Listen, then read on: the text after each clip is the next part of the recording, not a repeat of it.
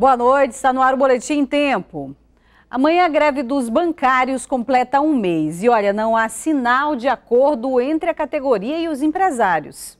Fila para entrar é a última tentativa da maioria. Eles passaram por vários bancos e não conseguiram resolver nada. Ontem eu vim para cá, era umas, umas, umas, três, umas duas horas da tarde estava dobrando essa fila aqui. Pessoal que reclama, nem para botar o povo para dentro eles não estão pondo. Isso é uma falta de respeito muito grande. Os cartazes em frente às agências se multiplicam. Quase todas estão fechadas. Amanhã completa um mês que os bancários estão em greve. E das 94 agências que existem aqui na capital, apenas quatro estão funcionando.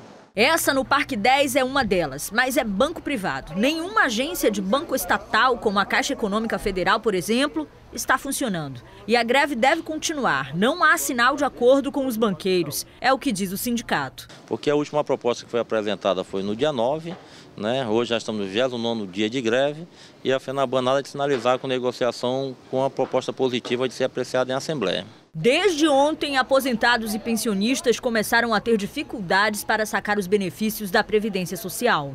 Não só contra a greve, porém tem que também olhar nosso, o nosso ponto de vista, nossa necessidade, né? A sociedade como fica. Não podemos pagar pelos erros dos outros. Os órgãos de defesa do consumidor têm recebido várias reclamações de clientes que não conseguem atendimento. Pessoas estão sofrendo para a retirada do seu fundo de garantia, né, seu FGTS, idosos que estão ficando no lado de fora da agência, não é? Por causa da questão do atendimento. Então, a lei de greve é muito clara, os 30% tem que ser respeitado. Só o número de aposentados e pensionistas prejudicados pela greve pode chegar a 300 mil.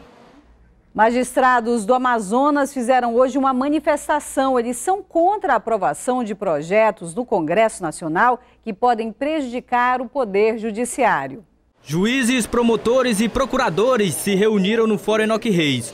O objetivo foi alertar sobre os projetos que tramitam no Congresso Nacional e que, se aprovados, podem enfraquecer a atuação dos magistrados. São três projetos. Um projeto de lei que, que pretende criminalizar a investigação criminal e também a atuação dos juízes em procedimento e processo crime, a desvinculação dos membros do Ministério Público e da magistratura do subsídio do, do ministro do Supremo Tribunal Federal e também essa proposta de tetar por 20 anos é, os gastos do, do, do, serviço público, inclusive do Poder Judiciário. O medo dos magistrados é perder o poder de atuação e os repasses da área judicial, o que prejudicaria a estrutura do Judiciário. É um alerta à sociedade porque várias matérias estão tramitando no Congresso Nacional para fragilizar as carreiras jurídicas, torná-las até menos interessantes a pessoas, pelo via, pela via até da remuneração.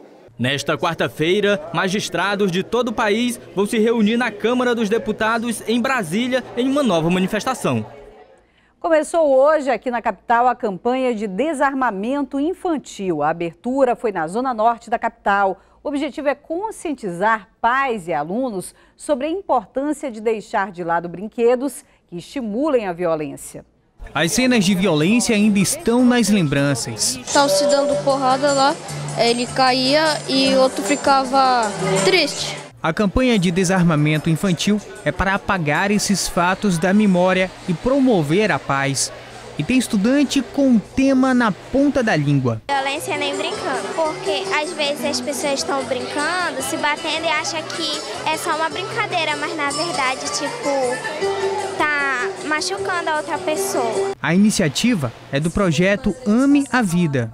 Durante o mês de outubro e novembro, nós fazemos realizações de atividades. São as palestras socioeducativas, são as rodas de conversa. A Polícia Militar está apoiando a campanha. Felizmente é uma realidade nossa, né? Algumas crianças que, tem, que recebem nosso acompanhamento da Polícia Militar, desde a, a infância até a adolescência, a gente se depara por aí já um cidadão infrator. Segundo a Polícia Civil, do início do ano para cá, 250 armas de fogo foram apreendidas só na Zona Norte. Desarmar, diminuir os crimes são objetivos para ajudar na campanha. A Polícia Civil ela não trabalha exclusivamente com investigação, ela, parte, ela tem a investigação como um mecanismo de sua atuação. É, ela pode atuar também preventivamente, com quê? Como participando de campanhas como essa. A ideia também é que os estudantes deixem de lado os brinquedos violentos. Os tipos de brincadeira com, com, com que elas brincam, que, que não pode ser coisa afiada, coisa perigosa. O bom é que a campanha só está no início mas os estudantes já entenderam a mensagem. Eu sou Marcela Rosa e esse foi o Boletim Tempo.